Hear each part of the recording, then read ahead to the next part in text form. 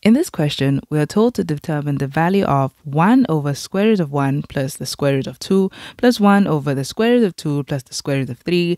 And this series basically just continues up till 1 over square root of 99 plus the square root of 100. And we have to determine the value of this without using a calculator.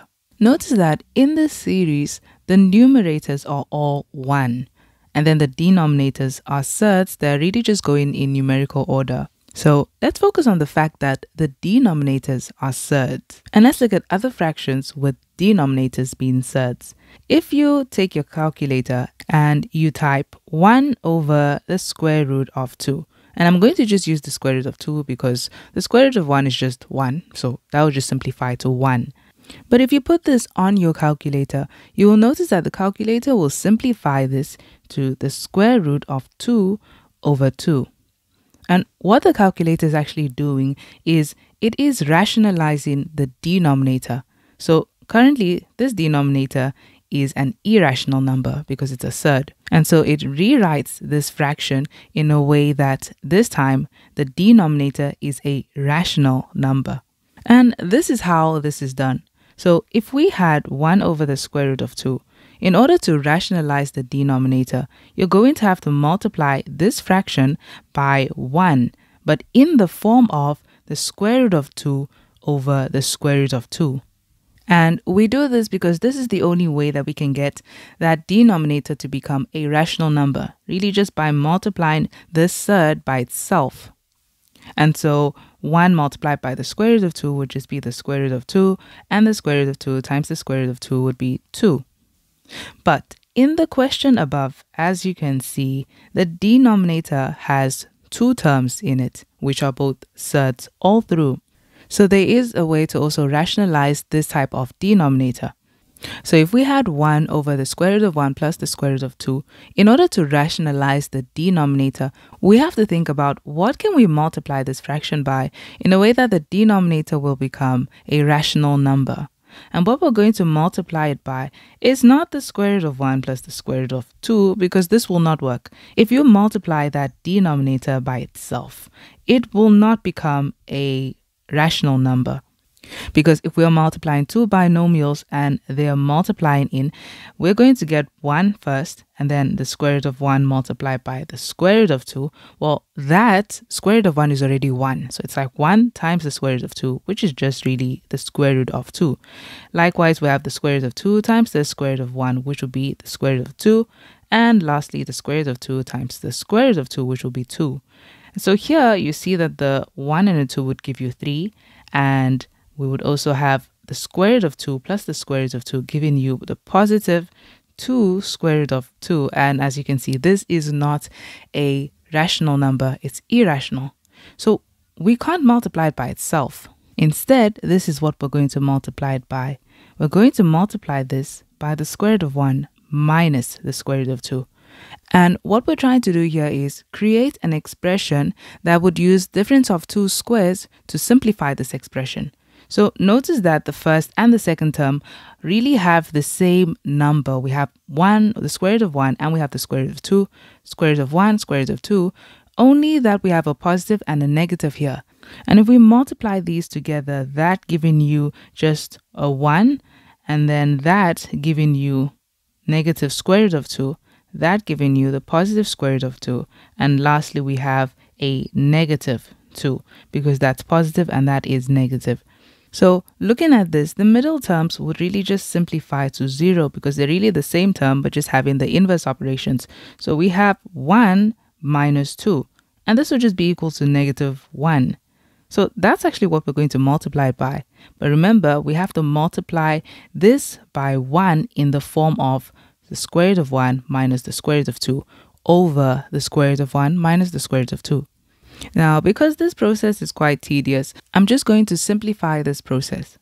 So we know that if we have the exact same numbers in the bracket, but the only thing that is different is the fact that here we have a plus and here we have a minus, then you know you would just simplify it like this. Simply multiply the two first terms by each other, which will give you a 1, and then the two second terms by each other. Remember, that's a positive times a negative, which is a negative 2. And so that simplifies to negative 1. So we're just multiplying this by 1 in the form of square root of 1 minus the square root of 2 over the same thing.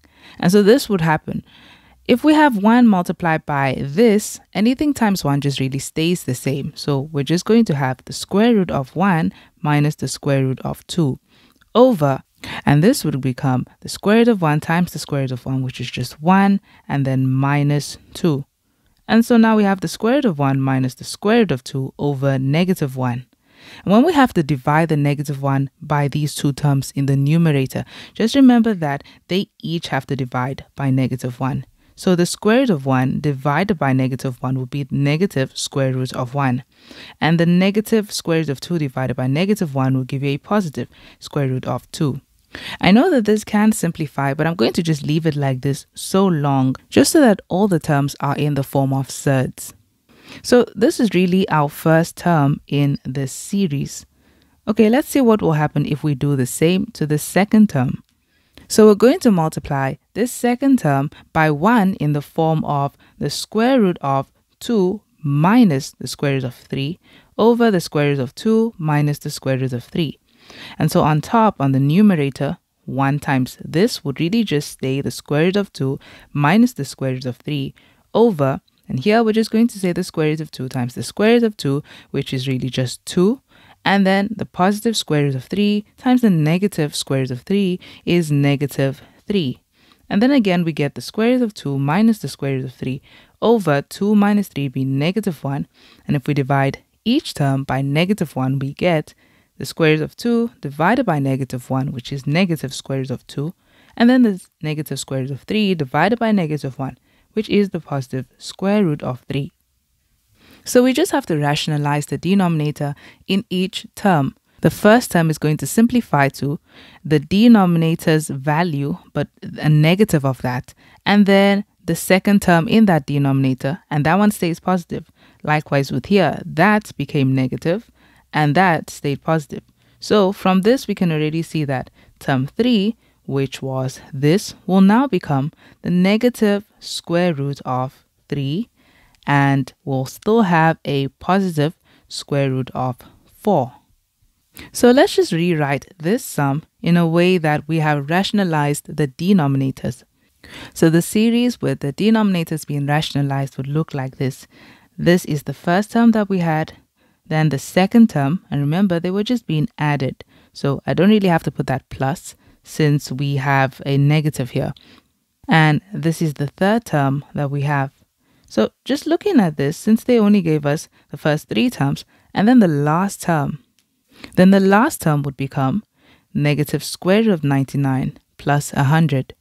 So this is just our first term, our second term, our third term, and that is the last term. Now, looking at this series, you will notice that some numbers in this series are going to simplify with each other and become zero.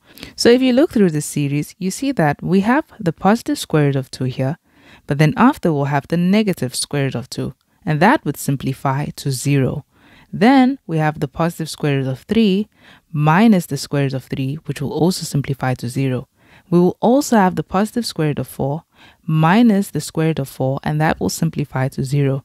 So this will keep on happening, but let's see where this is going to stop. Since this is the last term, let's just figure out what the term before this would look like. The term before this, because as you can see, they're really just going in numerical order, but the next term always has a part of the previous term and then the next number after it as a third. So the term before this would have been the negative square root of 98 and then plus the square root of 99. And you can see the same pattern going on with the first and the second term, and the second last and the last term. So this just means the square root of 99 minus the square root of 99 would have given you 0.